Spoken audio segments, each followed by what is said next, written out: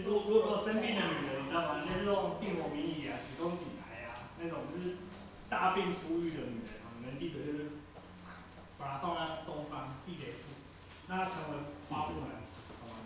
可是你要去做那些好像是中方哎，懂吗？这这是没讲，你其他忘记，昨天重点是凤凰可以，凤凰可以断岁了，但你可以先改到东方，它会好。对，因为那天那天也是好，可是就是他已经生病了，懂吗？你说他如果是正常人，是直接是西北，但是如果他是第一天开始西北，对。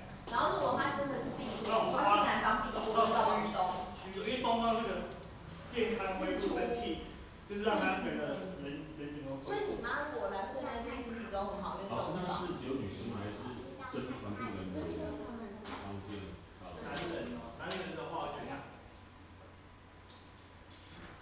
男人可能还要睡西北，然后东方，因为他睡到东方就变天雷无妄，就算逃过了病灾也被雷。你懂意思吗？我是，所以如果长辈暂时不愿意搬的话，把床再移过来这边，靠这边墙。这边是东边，对啊对啊。一定要沿着这边是谁？这边是谁？对。